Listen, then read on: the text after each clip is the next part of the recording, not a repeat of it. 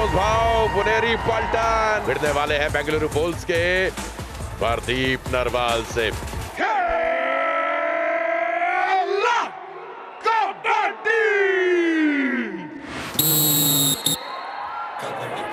क्या शुरुआत हुई थी, पहला मुकाबला। बहुत ही ज़्यादा नेक टू नेक चला और पटना पायरेट्स ने अपनी पहली जीत दर्ज की, बट ये दूसरा मुकाबला जहाँ डिफेंडिंग चैंपियंस पुनेरी पलटन भिड़ रहा है बुल्स के विरुद्ध। असलम इनामदार बढ़िया रिकॉर्ड उनके महाराष्ट्र के ही रहने वाले और पुनेरी पलटन के कप्तान शुभारंभ। श्री गणेश की नंबर पुनेरी 11 पलटन ने अपने इस मुकाबले का। प्रदीप नरवाल 10 का औसत है इनका यानी ऑलमोस्ट हर मुकाबले में 10 पॉइंट मिलते हैं। और यहाँ पर वो शुरुआत जो प्रदीप नरवाल से उम्मीद नहीं की जाती जनरली वो एक स्लो स्टार्ट करते हैं। अजिंक्य पवार इनके तो हम सब फ़ैन हैं।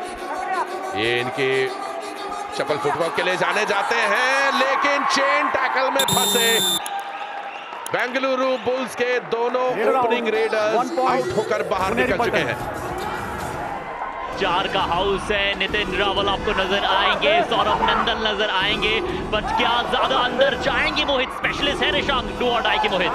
बिल्कुल देखिए पसंद करते हैं चार और पाँच के डिफेंसिव पॉइंट स्कोर करना। और यहाँ पे संयम दिखाना होगा। Three one two three number five please ये जादुई रेड है। You are also out please ये गिनती शुरू हुई है। थ्री थ्री थ्री थ्री सुनाई देने लग गया यहाँ पर।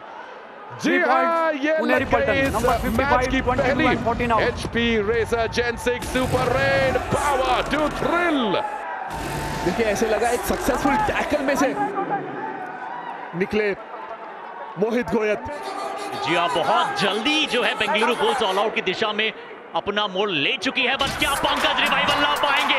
उत्तर दिया है गौरव खत्री की चेन ने नॉकआउट सबसे जल्दी. बेंगलुरु बुल्स ऑल आउट हो चुकी है। बोनस आखिरकार हाथ तो आया। बहुत ही अच्छा ऑल आउट ये बहुत ही कम समय पे। अजिंक्य पवार को वापसी करानी पड़ेगी और अजिंक्य पवार वापसी की तरफ़ दौड़ रहे. मुकाबला. इनामदार को शिकार बनाया। अब मोहित गोयल पिछली बार जब डू और डाई में आए थे तब क्या कमाल किया था वो सुपर रेट लगा दी थी। और इनकी डू और डाई रेट में जो स्ट्राइक रेट है वो तिहत्तर की हो जाती है। इन्हें रिस्पॉन्सिबिलिटीज पसंद है। बट क्या इस बार बेंगलुरु का डिफेंस पेशेंस रखेगा निशांक यही पेशेंस रखना होगा। और वही किया।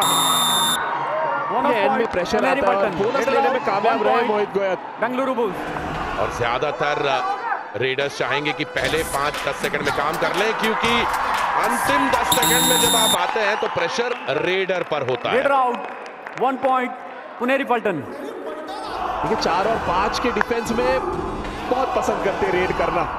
और सक्सेसफुल रेट अगर इनका देखेंगे हम तो ज़्यादा रहता है फिर से गलती करवाई नितिन से। देखिए यही कॉन्फिडेंस है।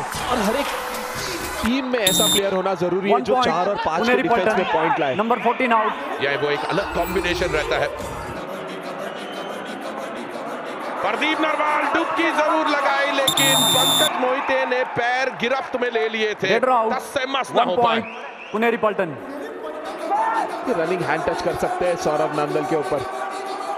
प्रतीक के डाइव से बचना होगा। दे फटे नपदे गिल्ली. ये है. डिफेंस का. सिकंदर. सुरेंदर. सुपर टैकल मगर की जकड़.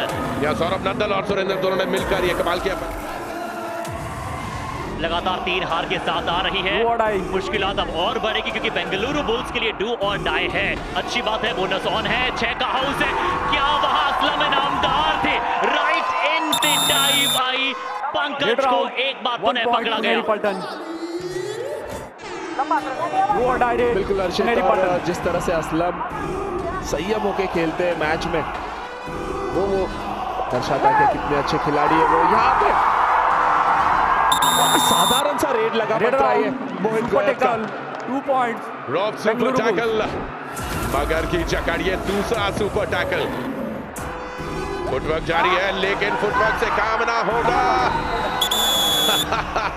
एक और बार टैकल हुए. अजिंक्य पवार। पुनेरी पलटन पुनेरी पल्टन तमिल थलाइवास का का गुस्सा है। वो बेंगलुरु बुल्स पे निकाल रही है। एक और बार सुपर टैकल ऑन यानी कि या तो रेडर जीतेगा या डिफेंडर खाली हाथ कोई नहीं लौटेगा। असलम इनामदार बढ़िया फुटवर्क बार बार नंदल की तरफ़ जाते हुए बैक लगाने की कोशिश और उसी का इंतज़ार कर रहे थे सुरेंद्र सिंह। अरे देखे जरा कौन number? Eleven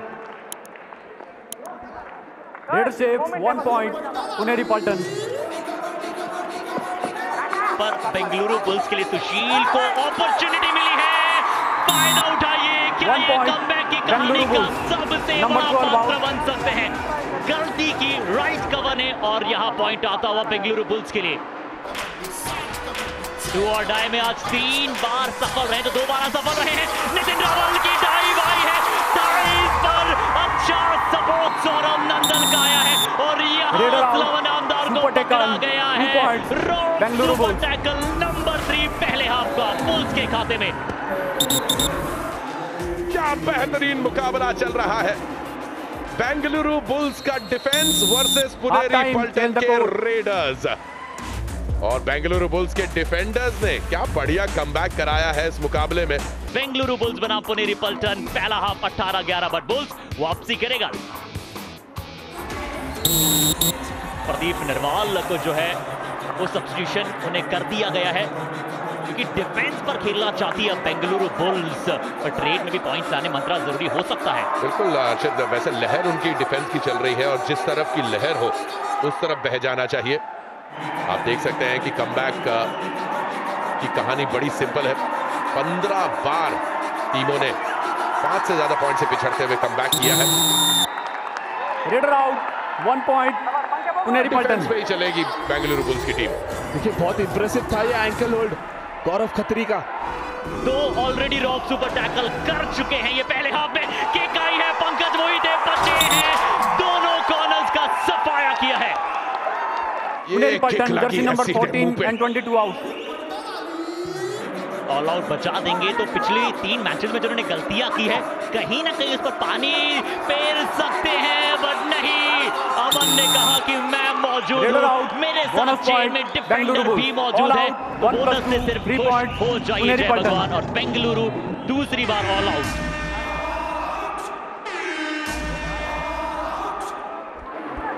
क्लियरली यहाँ पर बेंगलुरु बुल्स की स्ट्रैटेजी समझने की कोशिश कर रहा हूँ रिशांक। आप प्रदीप नरवाल को सब्सटीट्यूट करके बाहर बिठा रहे हैं। प्रदीप इस सीज़न के अंदर देखिए 28 पॉइंट प्रदीप के नाम है। ओहो यहाँ पर एक अच्छी रेड देखने को मिली है। पंकज की तरफ़ से बेंगलुरु कम से कम कोई तो यहाँ पर रेड नंबर पॉइंट उठा 77 रहा आउट और लगातार पॉइंट ला रहे पंकज। मोमेंटम ले जाने का बुल्स के पास अच्छा मौका है। टू और डाई आई है पंकज मोहिते आए हैं। दोनों दिशा से पंकज पॉइंट ले रहे हैं। इस बार पंकज मोहिते ने सुरेंद्र का शिकार किया एक सरप्राइजिंग रनिंग हैंड टच किया। नंबर 55 आउट प्रदीप की गैर मौजूदगी में सबसे सीनियर खिलाड़ी सबसे सीनियर रेडर और चलिए एक पॉइंट अजिंक्य Bulls. पवार के नाम eight केवल एक ही पॉइंट था। पिछले पाँच मिनट में कांटेदार टक्कर रही है। सात पॉइंट पुनेरी पल्टन को मिले हैं और पिछले पाँच मिनट में पुनेरी पल्टन के पंकज मोहिते वन पॉइंट अद्भुत कार्य कर रहे हैं। फिर से Number running 22 hand out. Touch Saurabh Nangal पर। ये आप सुन सकते हैं? असलम की आवाज़ आ- और अजिंक्य पवार को एक बार फिर झुंड में घेर के रेडर आउट पुनेरी पल्टन। पुनेरी पल्टन। उधर से पंकज इधर से पंकज। पंकज खड़े हो जाओ और बैठ जाओ। यहीं पर खेल समाप्त। डिफेंस की बात थी और डिफेंस ने बैठा दिया इस बार। क्या पुनेरी पल्टन के डिफेंस के प्रश्नों का उत्तर दे पाएँगे? बैक किक आई है। उत्तर प्रदेश के इस खिलाड़ी द्वारा उत्तर दिया जा रहा है। नंबर थ्री और देखिए बहुत ही बेहतरीन ये बैक किक पंकज का।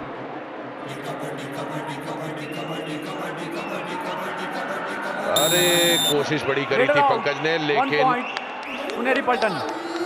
अमन के पास प्लान्स कुछ और हैं। पुनेरी पल्टन वापस अपने पुराने फॉर्म में। बिल्कुल ये लंबी डाइव लगा के रोका अमन ने।